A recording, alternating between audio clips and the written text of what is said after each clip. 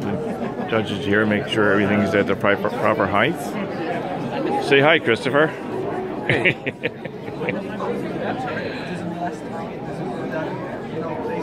Yeah, so um, the builders always do the robots instead of the programmers because the builders, once the robot's fully built, the pro- programmers are the only people that have anything to do. So the builders set it up and restart it and Uh-uh. restart the game board during building, and so they know how to do it. So, yeah. You know, they know So right now they're making sure the lights work. Right? They, ready on table two. Oh yeah, the light sensors are slightly I see some So. checklists laying on the table there. Make sure everything's right. That helps teams succeed. Checklists are good. All the light sensor on our robot? right. It's only great. You sure? Yeah. Okay, we're unkippered. Nicholas, move out so your parents can see. Yeah, the creature. Over here. You come watch over here. no, not in front of me. Over here, Nicholas. Yeah, And the here. robot's moving.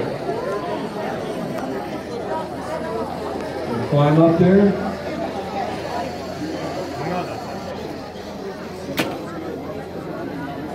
It's going the wrong way. Well, look at that. Wow.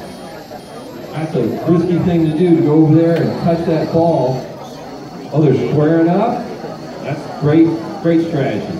So now they know where they are, they backed up the right amount and made their turn. They're doing the big climb. Going right, oh, they're using a sensor. A, uh,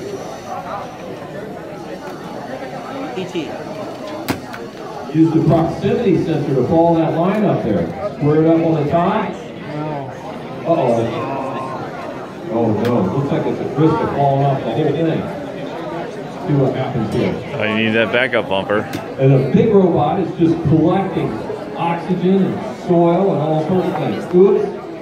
One of the little, um, oh, they may get it as they come back. They're going to try again. Look at that. Oh, so close. I know what that means. It means the number won't all be the same. Yeah, this is a very impressive robot.